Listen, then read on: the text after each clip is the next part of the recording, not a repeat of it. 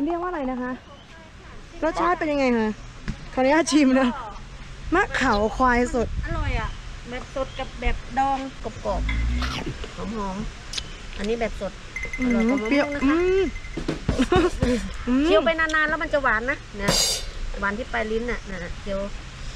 นะแต่กว่าจะถึงตอนนั้นนี่แบบแก้มอรสได้นะ แล้วก็สุดขับรถตามจะพูดนะ ขออนุญาตรับตาลืมตาไม่ขึ้น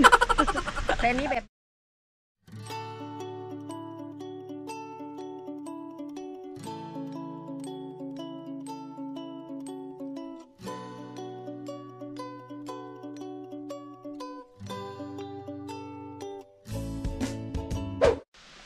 ช่วงมูเตลูเข้ามาใส่ไว้ทำไมอะ ซื้อน้ำได้หลายขวดล้อเล่นล้อเล่นล้อเล่น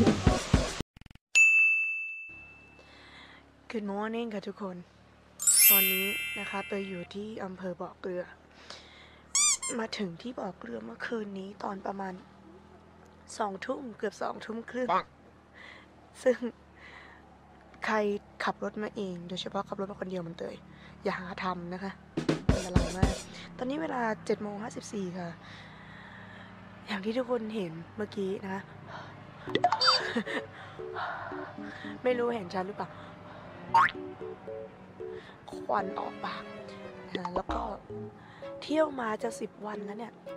เป็นที่แรกนะคะที่ได้ว่าตื่นมาแล้วเห็นทะเลหมอกในหน้าบ้านตัวเอง Amazing สุดๆนะฮะ ตอนแรกกะว่าจะไปเที่ยวที่อื่นในตอนเช้าๆพอตื่นมาเจออะไรแบบนี้เดี๋ยวนั่งดูบรรยากาศที่นี่ไปสักพักก่อนแล้วกันแล้วค่อยหาที่ไปต่อนะ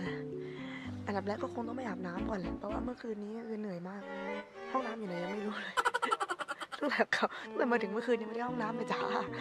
โอ้ยคุณแม่ อันฉี่สามชั่วโมงแล้วเนี่ย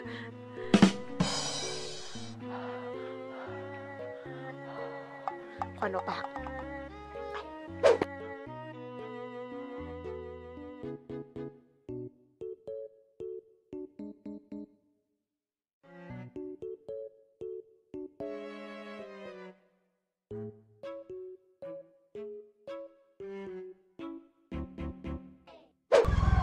ที่แรกที่เตยเลือกมานะคะ ก็คือชื่อร้านว่าร้านก๋วยเตี๋ยวครูพึ่งนะคะเขาบอกว่าที่นี่บรรยากาศดีมาก ส่วนรสชาติอาหารก็ไปว่ากันแล้วกัน สุดยอด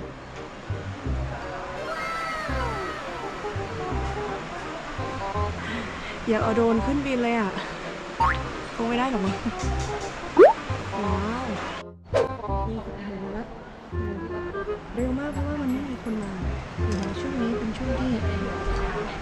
ก็เหมือนจะมีนักท่องเที่ยวเยอะแหละเพราะว่ามันเป็นไฮซีซั่นแต่ว่าด้วยความที่ว่ามันมีสถานการณ์โควิด19เนอะมันก็เลยทำให้นักท่องเที่ยวค่อนข้างจางค่ะเป็นกระสอบทั้งหมดระหว่างที่กินนะฮะเออจะเล่าเรื่องเมื่อคืนให้ฟังเมื่อคืนที่เคยขับรถมาที่บ่อเกลือคนเดียว แล้วดันไปขับผ่านเจ้าใช่ไหมอุทยานแห่งชาติสองที่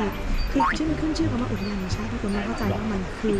ขับรถขึ้นลงเขาชันเออถอดเสื้อไม่เห็นชั่วแต่ขับรถอยู่บนเขาประมาณสี่ชั่วโมงนิด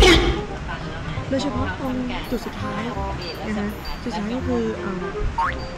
ตรงเนี่ยเดี๋ยวแต่ขึ้นชื่อนะคะเดี๋ยวจำชื่อไม่ได้นะอีตรงนี้แหละอุทยานตรงนี้เต้ไม่ได้คาดคิดว่าเต้จะผ่านมันนะแล้วเต้มาขับ ขึ้นมาที่นครเกือบจะหนึ่งทุ่มโอ้โหแม่เจ้า อุบัติเหตุก็กลัวอยู่แล้วนะ สิ่งแต่สิ่งที่กลัวที่สุดก็คือข้างทางมีแต่สารเลยอะถ้าใครอยากรู้นะคะว่ารสชาติอาหารเป็นยังไง ก็ต้องบอกว่ามันก็ไม่ได้แย่นะอ่าแต่ที่เตยชอบก็คือเตยชอบอีเกาเหลานี่แหละ เพราะว่าเนื้อมันนุ่มดีนะคะเขาค่อนข้างทำมาดีนะแต่ที่มากที่สุดของร้านนี้ก็คือน่าจะเป็นวิวนะคะวิวอะสวยมาก นั่งได้เพลินๆเลยจ้ะนั่งได้สบายๆอากาศก็ดีนะคะไม่ค่อยร้อนเท่าไหร่หลังจากแวะเติมพลังกันแล้วนะคะ ที่ต่อไปที่เราจะไปเนี่ยก็คือน้ำตกสปัน ซึ่งเราจริงๆอะ่ะเต้ยไม่ได้ตั้งใจจะเข้ามานะทุกคนเต้ยจะไปคาเฟ่แต่เต้ยเลี้ยวผิดทางมันก็เลยเข้ามาที่นี่อย่างงงๆอ่าเมื่อกี้นี้ก็แวะจอดถามน้อง นิดนึงว่าน้องที่นั่งอยู่ข้างหน้าตรงป้ายค่ะ ถามว่ามันไกลแค่ไหนถ้าเกิดว่าเราจะขึ้นไป น้องบอกว่าถ้าเราขึ้นไปถึงชั้นสามมันก็จะไกล แต่เราคิดว่าเราคงไปไม่ถึงหรอก แค่นี้ก็พอไหมล้อเล่นนะฮะอันนี้แค่ทางขึ้นนะคะ ได้ยินเสียงละคงมีน้ำอยู่แหละเพิ่งกินข้าวเสร็จเราคงไม่ต้องพกน้ำหรอกเนาะขึ้นอีกแล้ว บันไดอีกแล้วดูป้ายระวังเด็กจมน้ำตาย น่ากลัวม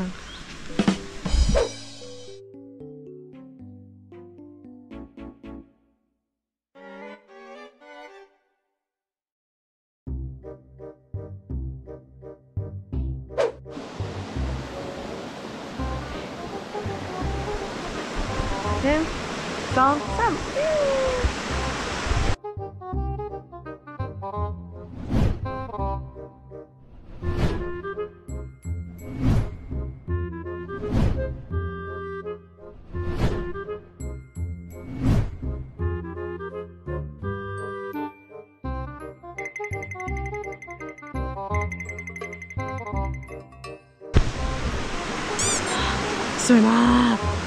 จะเดินทางกันต่อนะคะ ยังไงสักวันนี้ก็น่าจะขึ้นไป สักนิดนึงเอาจนกว่าจะไหวแล้วกันนะจะไม่ฝืนตัวเองมาก เดินทางกันไปต่อไปเรื่อยๆ เพราะว่าเราต้องเผื่อเวลาเนี่ยค่ะเดินทางต่อกันด้วย แต่จริงๆแล้ววันนี้ถ้าแต่คิดอยู่นะว่า ถ้าเที่ยวเพลินแล้วลืมเวลากลับจนช่วงใกล้จะมืดแล้วก็จะไม่ออกจากที่นี่นะคะจากที่พักที่นี่ซึ่งก็ต้องลุ้นดูว่าจะมีหรือเปล่านะที่พัก เพราะว่าก่อนจะมาเนี่ย พยายามจองแล้วก็จองอีกนะฮะไม่ได้จริงๆจนต้องไปพักอยู่ในตัวเมืองบอกเรือซึ่งก็ค่อนข้างไกลระดับหนึ่งจากสปันไกลเปล่าวะก็ขับรถสิบกว่านาทีอะนะก็ไม่ไกลหรอกเพียงแต่ว่าเส้นทางมันก็จะตามภาษาของการขึ้นเขาของภูเขา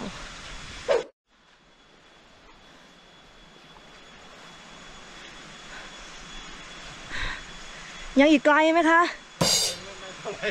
ไม่เท่าไหร่ทำไมมีความลังเลในการตอบคะมีการเสียงสั่นในจังหวะแรกหนูคนเชื่อหรือหนูจบไกลไม่ไกลไม่เหมือนกัน ตอนนี้ลังเลไปหมดแล้วค่ะถามใครก็บอกว่าเอออีกอีกแป๊บเดียวอีกแป๊บเดียว แต่ก่อนจะมีคำว่าอีกนี่คือสั่นแล้วนะต้นเสียง หอบเหมือนคนนี้เลยเหนื่อยไหมคะอ้าวบอกว่าเหนื่อยงั้นกลับดีกว่า ไม่ไหวละเอ้ยอ้าวมีคนตอบความจริงมาแล้วว่าไกลหน่อยงั้นนั่งก่อนแล้วกันเอ้ยไม่เคยจะทำอะไรสำเร็จเลยถ้าไม่ได้มากับเพื่อนนะไปว่าไปไม่ไหว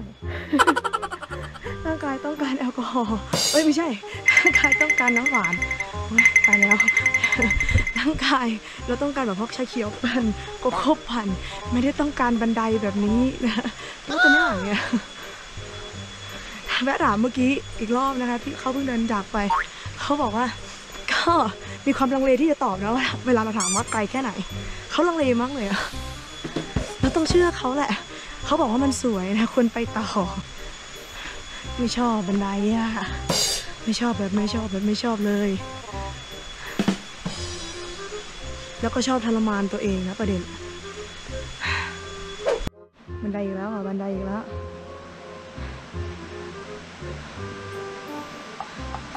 สู้ๆนะคะสู้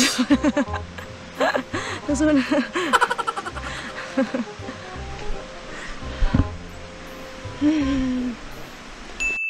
อีกนิดนึงแล้วกันนะอีกนิดนึงอีกนิดนึงอีกนิดนึงสะกดจิตตัวเองไหมสะกดไว้อีกนิดนึงอีกนิดนึงอีกนิดนึงนิดนึง นิดนึงเอ้ยอ่าถ้าใครคิดว่าจะจะเอารูปกูโก้ให้ดูไม่ต้องห่วงนะไม่รู้ว่าชั้นไหนล่ะตรงนี้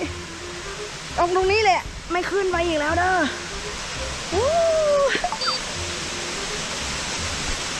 ว้าวอีตรงนี้นี่อุ้ยคุณหลอกอะไม่ใช่ที่จับนะเกือบแล้วมั้ยน่ะนี่ นี่นี่นี่นี่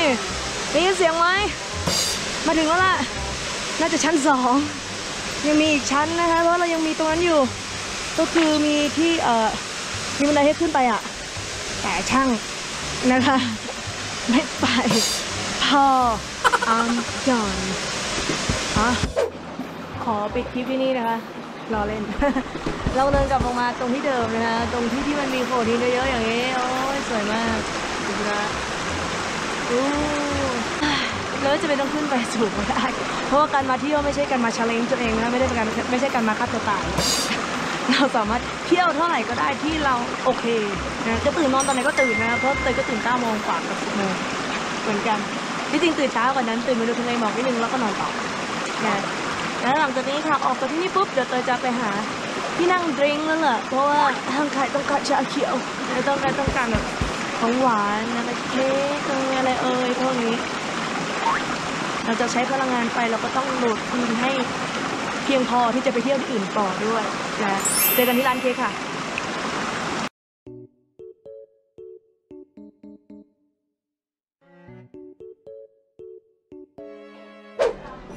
ที่แรกของนิดเตยต้องการรับนมสดน้ำผึ้งลงไปข้างล่างเลยค่ะวันที่นี่จะไม่มีขนมขายอืมไม่น่าไปเดินน้ำตกเลยอะ ขาไม่มีแรงเลยยังต้องมาขับรถน่าบอมากแต่จะหาที่นั่งพัก ขาสักชั่วโมงเราจะมีที่นั่งไหมเวลาที่เตยมาถึงที่อุ่นไอมังค่ะประมาณช่วงบ่ายสองละก่อนหน้านี้รู้สึกว่าจะมีคนน้อยนะที่สปัน แต่พอมาถึงเวลาเนี้ยเออคนดันเยอะว่ะ แล้วอุ่นไอมังก็คือ แทบจะไม่มีที่นั่งเลยนะคะเตยก็เลยต้องเดิน ตะลอนตะลอนตะลอนมาหาที่นั่ง แถวแถวริมน้ำจ้าได้มุมละหาเก้าอี้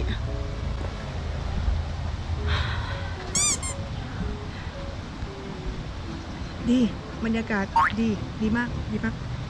มากเลย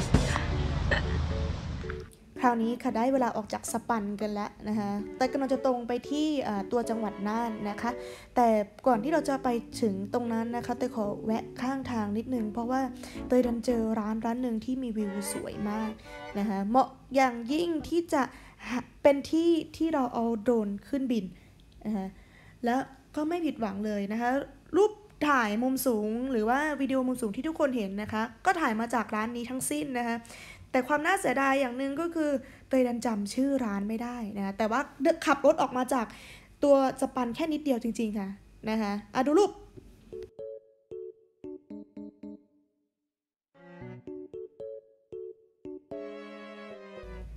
ร้านนี้ไม่ได้มีดีแค่วิวเด้ออาหารเขารสแซ่บมากนะคะถึงใจมาก รู้สึกสดชื่นขึ้นเยอะเลยค่ะ และนี่ก็คือสปันครั้งแรกและน่าจะเป็นครั้งสุดท้ายของเตยเราเล่น